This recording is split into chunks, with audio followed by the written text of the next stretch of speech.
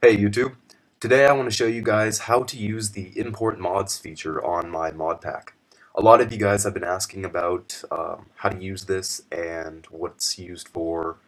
Anyways, I guess it's confusing or something, so I will try to enlighten you in this video right here.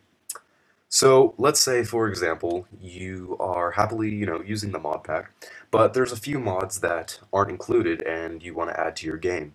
So um, that's what this little feature is for.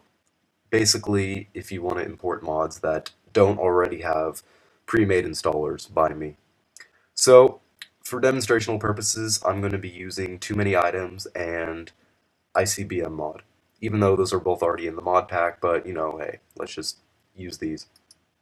So open up the latest version of my mod pack, and within the current version and optional installers, you will see the custom mods folder. This is where this is what you're going to be using basically.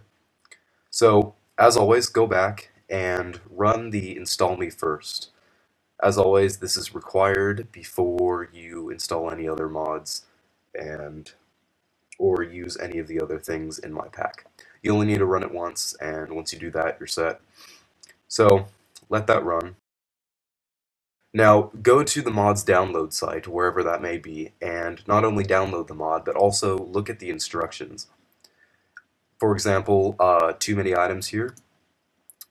It wants me to add all of these class files into the .mine into the minecraft.jar folder. So instead of actually doing that, put it into this into minecraft.jar folder inside the mod pack. Just drag it in there, drag and drop, and that's it. Just drag and drop all of the class files that you would normally add into your uh, .minecraft folder into there. You can also do this with anything that needs to go in the mods folder. For example, ICBM mod. Those both Universal Electricity and ICBM both go into the mods folder. Now that's all you need to do for uh, setting up the mods. Now this little installer import mod will do all the rest for you. So run this should be really quick. And that's it. Once the black screen goes away, uh, all of your mods have been imported. So yeah, that's it. I want to show you that this works, so I'm going to load up Minecraft here and speed up the loading because my computer's slow. And wait for this lag to settle down. Okay, as you can see, Too Many Items has loaded, and let me scroll through here and show you there. ICBM mod has loaded with all of its explosives and radar stations and that sort of thing. So uh, yeah, this is a great way to add mods that don't already have installers if you have my mod pack.